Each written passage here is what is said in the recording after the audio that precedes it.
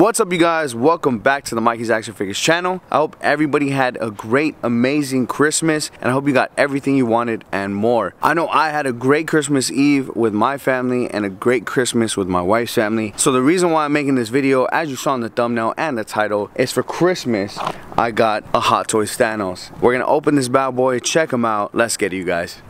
You should have gone for the head.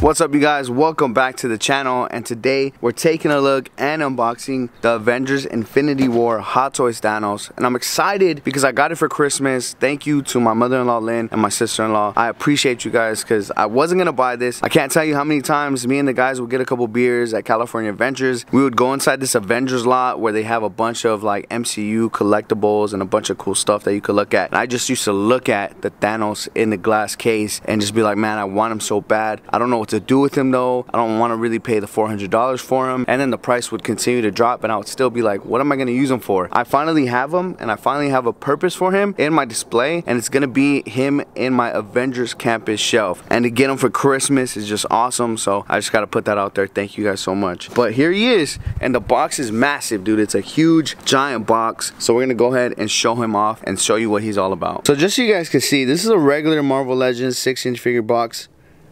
This is him next to the Thanos box, dude. I'm telling you. Alright, so here is the Thanos box out of his shipper. Dude, this is such a nice box, man. so cool. I also got to give a shout out to my brother because he actually helped my mother-in-law go get it. They went to California Adventures to pick this guy up out of the glass case. This one was the display, so they got hooked up and my brother always gets hookups when he goes to Disneyland and stuff like that. I don't know how he does it, but he does it. So we'll take him out of the box and check him out. So there he is, unboxed, dude. Look at that figure, man. And he even comes with like a whole arm to light up the gauntlet. That's crazy because the armor Thanos did not come with a whole other arm. Okay, so we got two head sculpts here.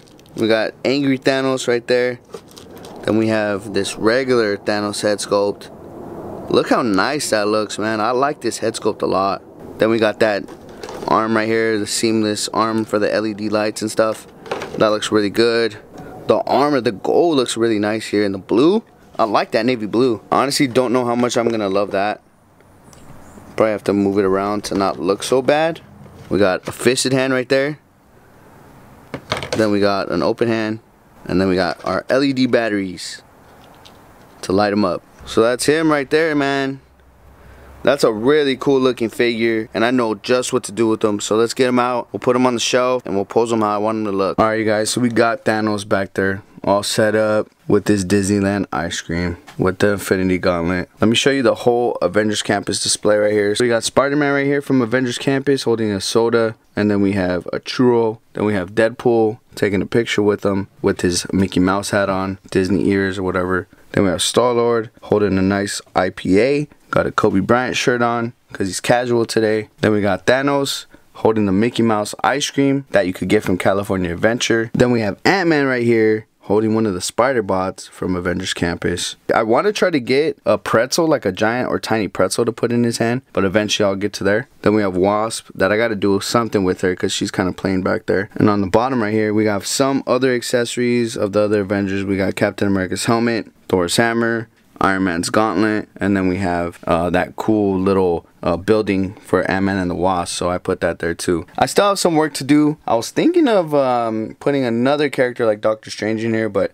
we'll have to see who fits. I'm charging the lights right now, but to show you all the other stuff, we got Kobe and Shaq at the bottom. We got our Miles, it's a little dark, and Groot in the back. Then up here, we have our Endgame Big Three with our Armored Thanos. And we have up here our Mandalorian and Grogu. And then we have Moff Gideon and Grogu. Eventually, side by side, I want to get some uh, Death Troopers to be next to Moff Gideon, so we're working on that. But for the most part, that's the show. Nothing crazy, but we're working on it. Alright, you guys, so there you have it. That's it for this Infinity War Thanos figure. He's such a dope, awesome, large-scale figure. Personally, I would choose the armored Thanos over that Thanos just because of that weird, like, arm joint thing. But he is pretty dope. So thank you guys so much for watching. Don't forget to hit that like button. Don't forget to subscribe. If you guys are new to the channel, have a good one, you guys. Let's get it.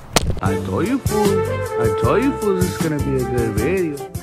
Well, either way, after seeing that pole right there, you wouldn't want to pay Look that at they put sticky tack in there. It comes with a hand to hold it.